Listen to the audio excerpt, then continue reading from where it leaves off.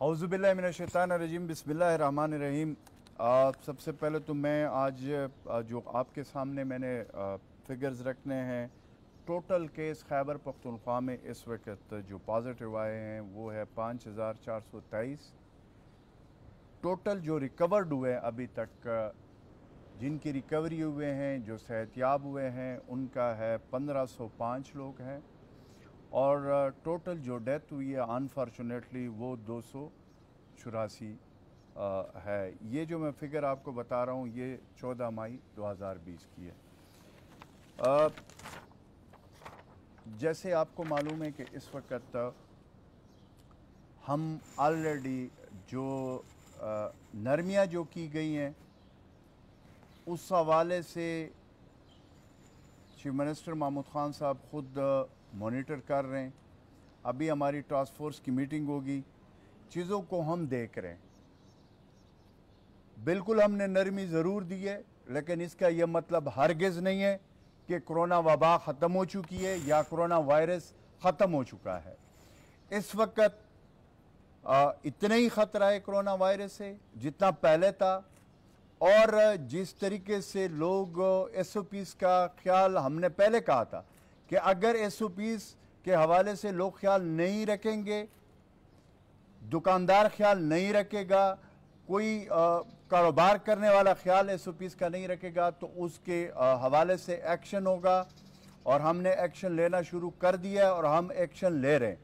इस पर कोई दूसरी राय नहीं है कि हमने पाकिस्तान की प्राइम मिनिस्टर इमरान खान साहब की क्यादत में उन्होंने जो फैसला किया कि इस वक्त हम दो जंग लड़ रहे ये पहले दिन से उनका विजन है। एक जंग हम लड़ रहे हैं, कोरोना की वबा से अपनी आवाम की तहफ़ का। दूसरा हम जंग लड़ रहे गुर्बत, अफलास, और जो हमारे आवाम की जो इस वक्त मसाइल है। तो हम दोनों जो जंग लड़ रहे हैं, इस वक्त उसको उसमें हमने आवाम को जो नरमी दी है तो उसका मतलब ये था कि एक तरफ़ ज़िंदगी रवा दबा हो और दूसरी तरफ़ ये जो कोरोना की वबा है, उससे जो स्प्रेड होना है, उससे जो है हम अपनी आवाम की जानों की हिफाजत करें। और इसमें आवाम का बहुत इंपॉर्टेंट रोल है। मैं खुद बाजारों को मैंने देखा है। लोग सीरियस नहीं ले रहे। लोग इस चीज़ को समझ रहे कि जैसे हम पहले थे, उस तरह के हैं। बिल्कुल ऐसा नहीं है। दुनिया तब्दील हो चुकी है इस वक्त। ये जो जो कोरोना है, मैं हमेशा से एक बात करता हूँ कि ये हमारे पीछे खुद नहीं आता। हम बाहर निकलते और ये गैर ज़रूरी मैंने देखा। छोटे बच्चे को मैं देखता हूँ। खातन की इतनी तादाद बार जब हम देखते हैं।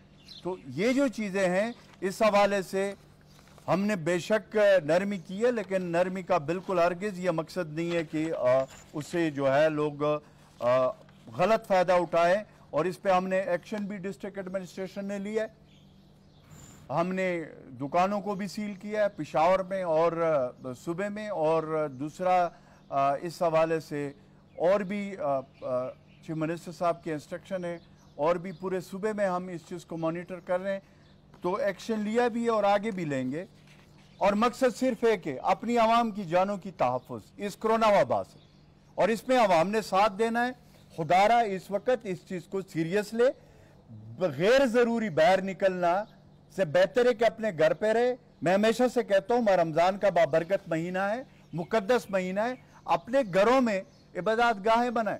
अल्लाह की तरफ़ रजू करें, अल्लाह की तरफ़ गिड़गिड़ाएँ, ताकि ये जो वबा पूरी दुनिया में फैली हुई है, इससे हमारी जिस तरह के हमारे मुल्क में हालात है, हमारे मुल्क की जिस तरह की मीशत है, उसमें हमें अल्लाह ताला की तरफ़ भी रजू करनी चाहिए और उससे माफ़ी मांगनी चाहिए कि हमें अल्लाह ताला इस कोरोना वबा से महफूज रखे। इस तरीके से जो पेट्रोलियम मसनूआत में जो कमी हुई है उसके हवाले से कल चीफ मिनिस्टर साहब ने आ, जो है वो अहकाम जारी कर दिए कि अभी जैसे ये ट्रांसपोर्ट का हम फैसला कर रहे हैं या जो करेंगे जो नेशनल कोऑर्डिनेशन कमेटी में सामने हम रखेंगे अपने तजावीज़ हमारे चीफ मिनिस्टर साहब रखेंगे लेकिन उससे पहले हम ये कह रहे हैं कि ये जो पेट्रोल की कीमतों में जो कमी की गई है पाकिस्तान की तारीख में पहली दफ़ा प्राइम मिनिस्टर इमरान खान साहब ने इतनी कमी की है पेट्रोल की कीमतें तो उसका जो फ़ायदा है, वो आम आवाम तक पहुँचना चाहिए। ज़ाहिर है, जब कीमतें ऊपर जाती है तो मार्केट में चीज़ें ऊपर जाती है, उनके महँगे हो जाते हैं। लेकिन जब मार्केट में, जब जब पेट्रोलियम की कीमतें हमने कम कर दिए तो उसके बाद उसका डायरेक्ट जो फ़ायदा है, वो आवाम को मिलना चाहिए, हर सूरत में। इस चीज़ को भी हम इंश्योर कर रहे हैं। दूसरा, सियाहत के हवाले से कल मीटिंग हुई है चीफ मिनिस्टर साहब की क्यादत में। उसमें हमने एक फैसला किया है कि जो सियाहत के हवाले से हमारे, एक तो रोड्स है जो ऑलरेडी बन रहे दूसरे जो हमारे चार जगहों पे जो हम, उसको अपग्रेड कर रहे हैं, जो सियासी मकाम है, उस हवाले से जो कल मीटिंग हुई है तो उसमें हमारी टूरिज़्म डिपार्टमेंट हमारे हेल्थ डिपार्टमेंट रिलीफ डिपार्टमेंट और प्लानिंग डिपार्टमेंट की एक कमेटी बनाई गई है। ताकि वो एस ओ पी तय कर ले और उस पर फौरी तौर पर काम शुरू करे, ताकि हम जो टूरिज़्म के हवाले से, जैसे प्राइम मिनिस्टर साहब का जो विजन था टूरिज़्म के हवाले से, खैबर पख्तूनख्वा में, उसको हम आगे लेकर जाएँ। तो उस हवाले से फैसले हुए। इन ताला, जहाँ पे हम कोरोना की वबा का हमने मुकाबला करना है, उसके हमने एसओपी जो तय की उससे पे हमने अमल दरामद करना है। वहाँ पे हमने टूरिज़्म में भी जो है उसमें हमने अपना काम जारी रखना है। जो हमारे आ, वो थे जो प्रोजेक्ट थे जो ऑलरेडी जिस पे काम किया जा रहा था उसकी अपग्रेडेशन और रोड्स और दूसरे जो उनके टक शॉप है पेट्रोल पंप से और जो जो चीज़ें वो ज़रूरी जो हम ऑलरेडी उस पर फैसले कर चुके उस पर काम तेज़ करने के अहकाम दिए गए, लेकिन उसके लिए एस का, जैसे मैंने कहा कि वो प्रॉपर एस के साथ उस पर अमल दरामद किया जाएगा। और मैं इस मौके पे दो चीज़ें ज़रूर कहूँगा।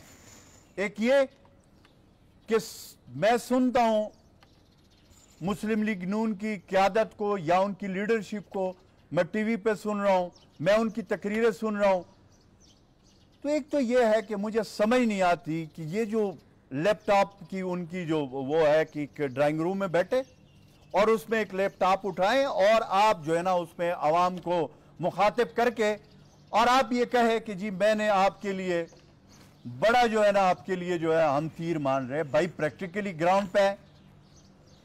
इसमें कोई शक नहीं है कि कोरोना वबा से जैसे हमारे आवाम को खतरा है, हम सबको खतरा है। लेकिन हमारे प्राइम मिनिस्टर साहब खुद फ्रंट फुट पे है, खुद गए हैं क्वारंटाइन सेंटर गए हॉस्पिटल्स गए आइसोलेशन सेंटर गए, हर जगह पे वो खुद पहुँचे।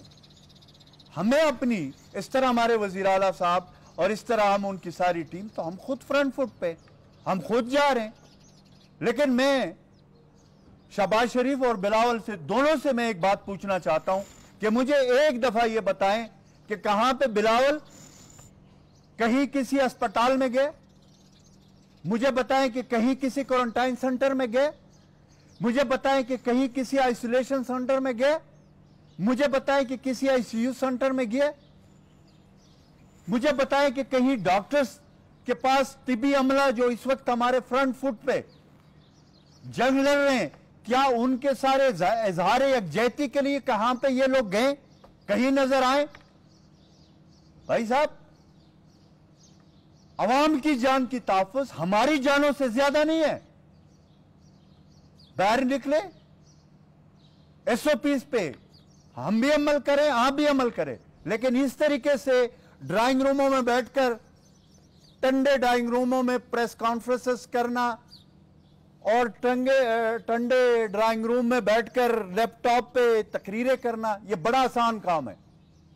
अल्लाह के फजलो करम से हमारे प्राइम मिनिस्टर इमरान खान साहब की क्यादत में उसके विजन के मुताबिक पहली दफ़ा गरीब का यह पहली दफ़ा हुआ कि किसी गरीब का, किसी टेले वाले का, किसी जो है रेडी वाले का, किसी मजदूर, किसी मेहनत कश का पहली दफ़ा किसी ने पूछा है, उसके लिए इमरजेंसी केश प्रोग्राम सबके सामने। और हमेशा गरीब की बात करते हैं। और ये जो लॉकडाउन में नरमी है बेसिकली उनका विजन ये है कि गरीब क्या करेगा? हमारे मुल्क में गुर्बत के लकीर से नीचे कितने लोग हैं?